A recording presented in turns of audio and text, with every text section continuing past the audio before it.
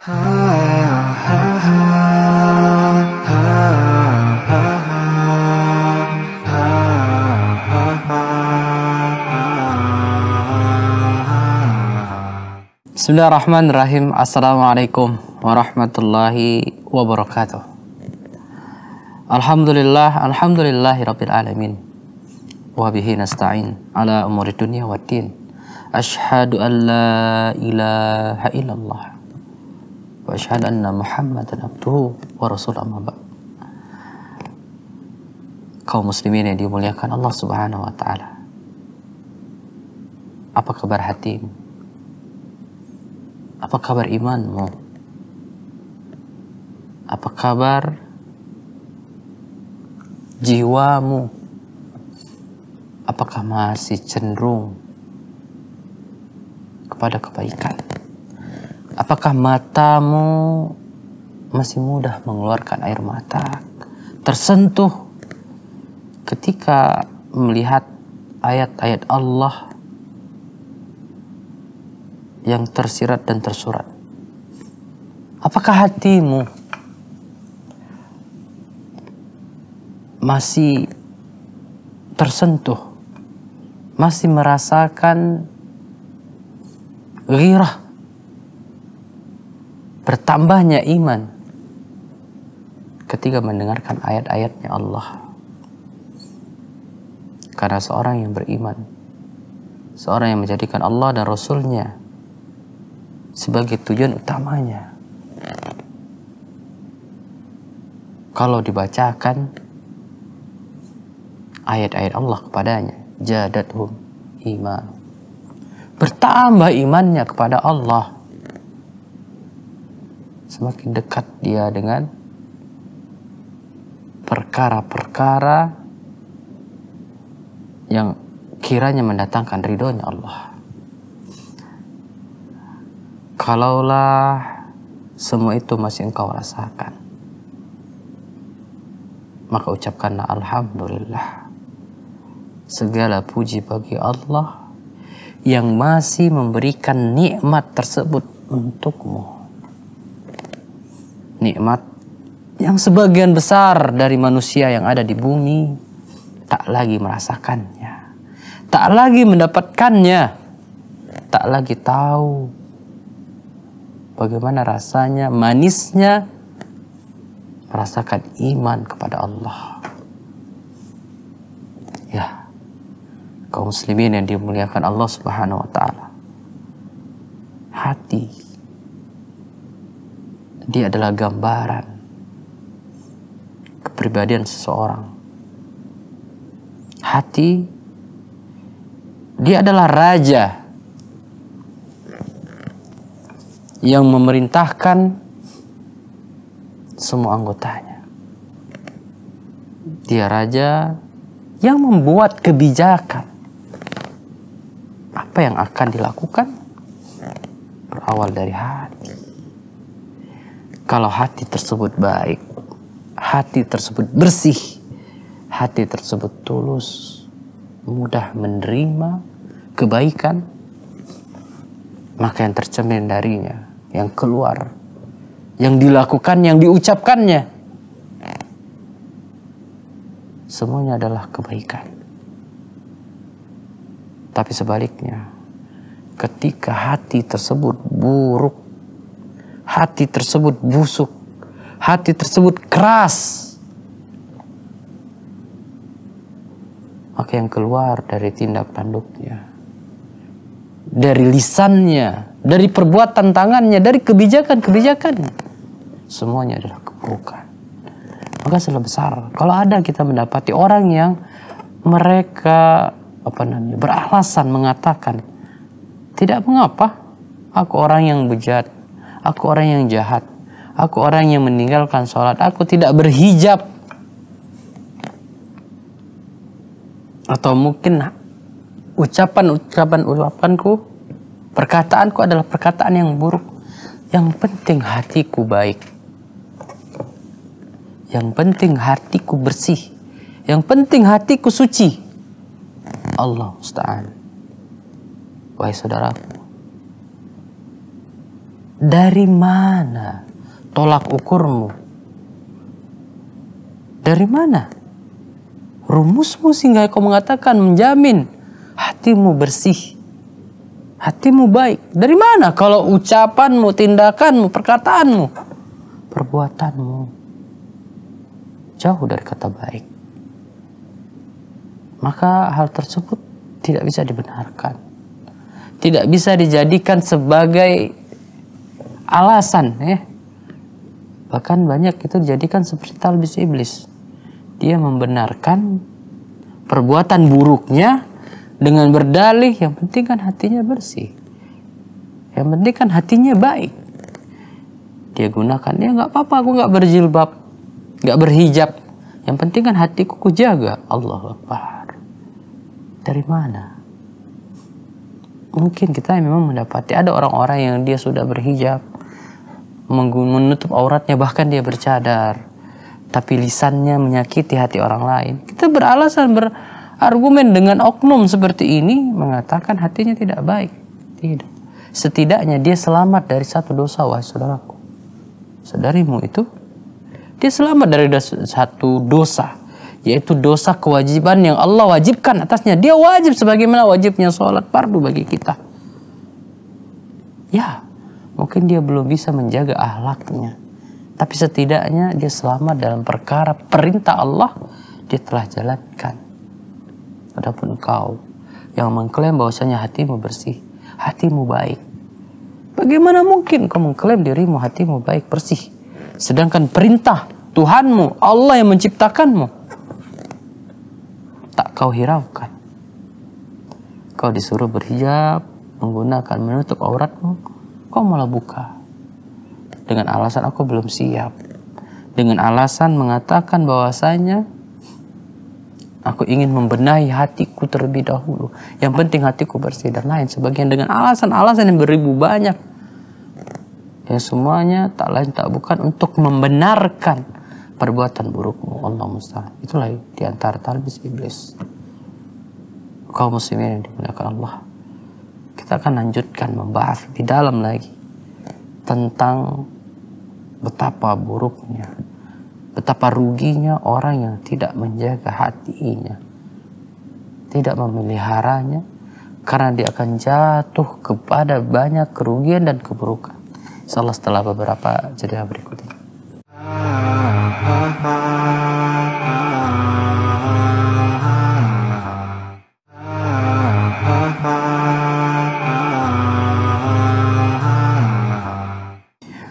kaum muslimin yang dimuliakan Allah Subhanahu wa taala.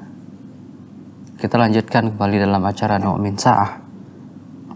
Yang kali ini kita mengangkat tema deteksi atau periksa hatimu.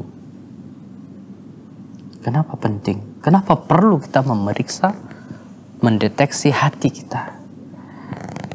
Karena bisa saja kita tidak sadar, wahai saudaraku. Ternyata hati kita sedang sakit. Ternyata virus-virus itu, subhat-subhat itu, itu telah menyerang dalam diri kita dan kita tidak sadar. Maka kita perlu sesuatu yang itu bisa menyadarkan, bisa jadi tolak ukur. Apakah hati kita sedang baik-baik saja atau kolbun salim, hati yang selamat, atau malah sebaliknya hati kita dalam keadaan buruk. Hati kita sedang dalam keadaan keras.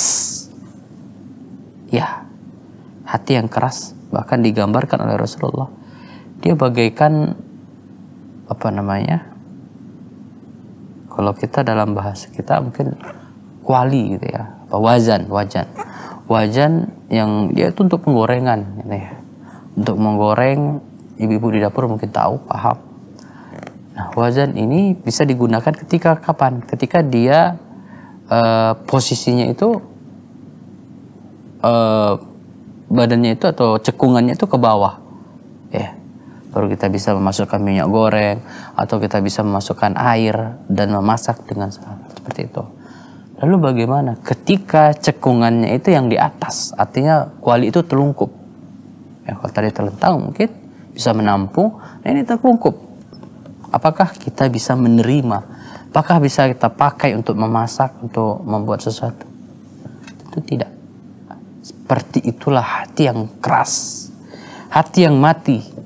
Dia tidak akan mau menerima lagi. Dia tidak akan bisa lagi menerima nasihat demi nasihat, kebaikan demi kebaikan. Tidak. Sebagaimana Allah katakan, "Falamma zau azaghallahu qulubahum." Ketika hatinya berpaling, ketika dia tidak lagi mengindahkan perintahnya Allah, tak lagi melaksanakan apa yang diwajibkan kepadanya dan malah sebaliknya dia terus dan terus melakukan keburukan demi keburukan berpindah dari satu maksiat kepada maksiat yang lainnya maka ketika itulah dia terus menyakiti bahkan membunuh hatinya karena pada asarnya fitrahnya hati kita itu ketika kita ingin melakukan perbuatan buruk, dia akan melarang. Dia akan mengasih warning. Gitu ya. Dia akan mengingatkan kita. Dan ketika peringatan demi peringatan itu kita abaikan, maka ketika itulah kita membunuh, menyakiti hati kita itu. Yang pada awalnya dia adalah wikoyah, dia adalah benteng. Benteng demi benteng yang menghalang kita dari perbuatan buruk dan membuat kita semakin cenderung pada kebaikan. Tapi banyak di antara kita tidak mengindahkan suara fatwa dalam hati kita. Yang fitrahnya dia tunduk dengan perintah Allah. Nah, kaum muslimin yang dimuliakan Allah Subhanahu wa taala, tentunya kita harus tahu, kita harus paham beberapa perkara yang bisa kita jadikan acuan. Acuan apakah hati kita adalah hati yang lembut, mudah menerima kebaikan, menerima kebaikan, atau sebaliknya, hati yang keras yang susah menerima kebaikan. Yang pertama kita bisa lihat deteksi dalam perkara ibadah. Ya, kita ambil dari dalam perkara ibadah. Coba lihat introspeksi diri kita sendiri. Ketika kita mendengar suara azan, yang kalau di negara kita azan bahkan bersahut-sahutan. Kita dengar sebelah kanan, sebelah kiri, muka, belakang, depan, belakang. Ya.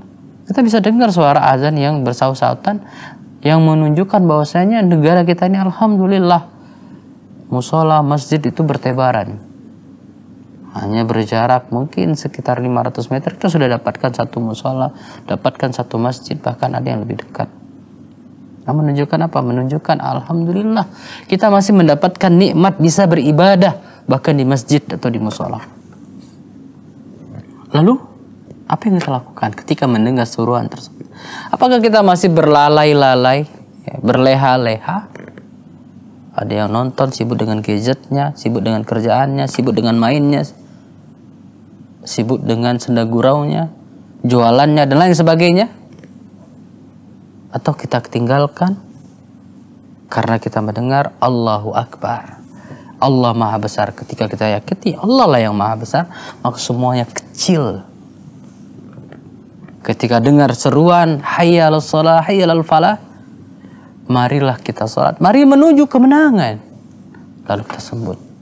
Kita sambut seruan Allah. Allah yang memanggil seruan untuk melaksanakan mengerjakan sholat yang lima waktu.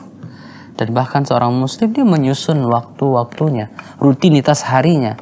Di antaranya melalui kompas seperti ini rumus ini antara sholat ke sholat yang satunya. Seperti itu. Karena apa dia selalu berpatokan? Dia selalu menunggu waktu tersebut. Bahkan dia menganggap bahwasanya sholat rohah Sholat itu adalah waktu istirahatnya dia. Nah, pertanyaannya, Aina nahnu? Bagaimana? Mana kita? Coba tanya. Apakah kita bersegera? Fafirru ilallah. Bersegeranya kita itu dengan berlari, berjalan, atau ya berleha-leha santai gitu.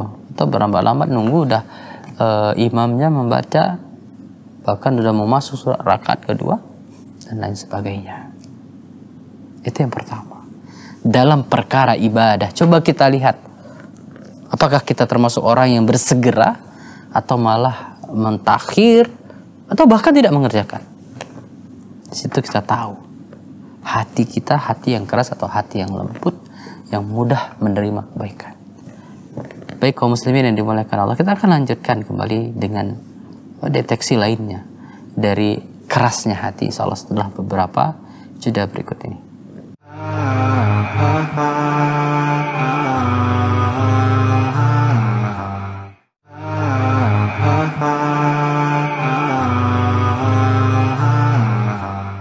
Baik kaum muslimin yang dimuliakan Allah Subhanahu wa taala. Kita lanjutkan kembali segmen yang terakhir di acara Nu'min Sa'ah. Kita mengangkat tema deteksi hatimu. Apakah dia hati yang salim, kalbun salim, atau hati yang keras? Nah kalau tadi kita bisa mendeteksi melalui sikap kita bagaimana ketika itu adalah ibadah, panggilan ibadah seperti sholat atau seruan untuk kita kewajiban untuk memakai hijab seruan untuk bersodakoh membantu orang yang sedang kesulitan. Kita bisa lihat aina nahnu? Bagaimana kita? Di mana kita? Dalam perkara kebaikan ketika ada kita dengar ada uh, ajakan untuk hadir di majelis ilmu. Ketika kita mendengar ada orang yang membutuhkan bantuan. Anak-anak yatim yang kita tahu dia lagi kesulitan, kesusahan. Kita lihat di mana kita. Padahal kita mampu kalau mau untuk membantu, tapi hati kita malah cenderung pada bakhil, pelit, atau dengan kemalasan. Maka Rasulullah juga mengajarkan di antara doanya adalah doa dihindarkan dari perbuatan yang malas. Minal ajaji wal kasali ya Rasulullah anjurkan membaca doa tersebut berlindung dari perbuatan kesal, malas ya. Juban, pengecut, bahil. Bahil, pelit gitu ya. Kita disuruh berdoa meminta untuk berlindung dari penyakit-penyakit tersebut. Yang notabene itu adalah penyakit hati. Yang menghalangi kita dari kebaikan demi kebaikan. Nah itu yang pertama, kita deteksi bagaimana kita dengan hal-hal yang bersifat kebaikan, beribadah, muamalah dan lain sebagainya. Kemudian kita bisa deteksi kemungkinan yang kedua adalah bagaimana kita dengan perkara yang mubah. Mubah itu artinya perkara yang boleh. Apakah kita betul-betul menghabiskan seluruh waktu kita dengan perkara yang mubah sehingga terlewatlah dari kita perkara yang uh, baik tadi padahal jelas dikatakan min husnil Islam tarkuhu ma la yakni. Baiknya Islam seseorang itu ketika dia meninggalkan perkara yang tidak bermanfaat untuknya. Bukan tidak boleh kita melakukan perkara yang mubah, boleh silahkan. Tapi di sinilah menunjukkan kualitas keimanan kita kepada Allah dan hari akhir. Orang yang dia baik imannya sempurna, kebaikannya tersebut, maka dia bisa menilai tijarah ya, perdagangan yang dia lakukan. Dia sedang berdagang. Kita semua adalah pedagang, wahai saudaraku. Apa yang kita dagangkan? Yang kita dagangkan adalah atau modal dagangan kita adalah waktu yang Allah berikan kepada kita. Waktu yang Allah bersumpah atasnya wal asr.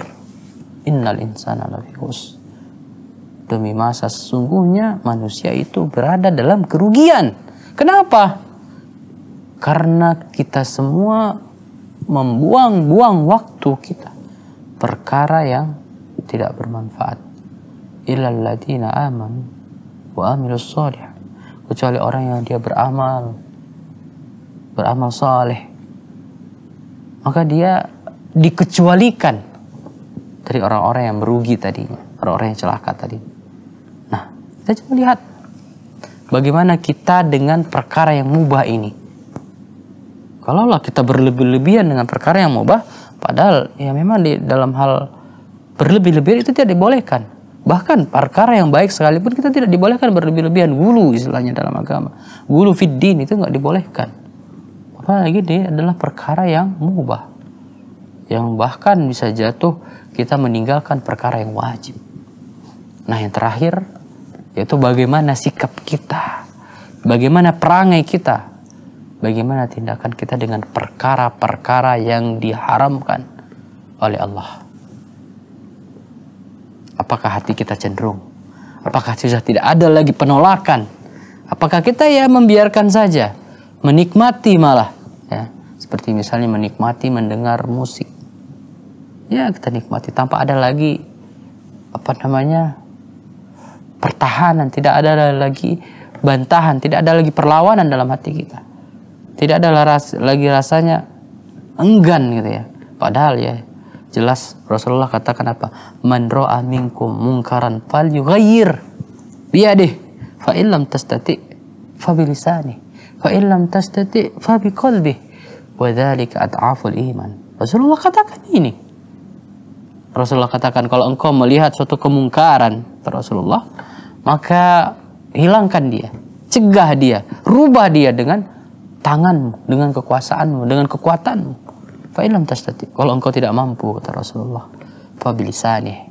Dengan lisanmu, dengan ucapanmu, dengan nasihatmu. Fa'ilam tastati. Kalau engkau juga tidak mampu dengan kekuatan, dengan lisan, dengan nasihat, maka fabi kolbi. Dengan hatimu. Ingkari dia. Ingkari dia. Mengingkari perbuatan buruk yang engkau tidak mampu untuk mencegahnya, merubahnya. Minimal dengan hatimu. Wadzalika at'aful iman. Dan itu adalah selemah-lemahnya iman. Artinya apa?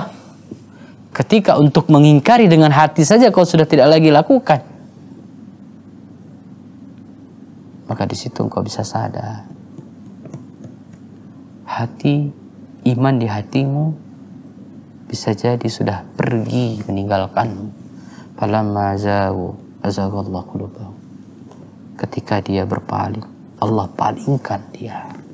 Ketika dia meninggalkan kebaikan, meninggalkan yang dia pahami itu adalah hal yang sangat berharga dari baginya, yaitu hidayah yang Allah telah titipkan. Maka Allah tinggalkan dia. Allah tidak butuh dengan orang seperti kita yang butuh kepada Allah.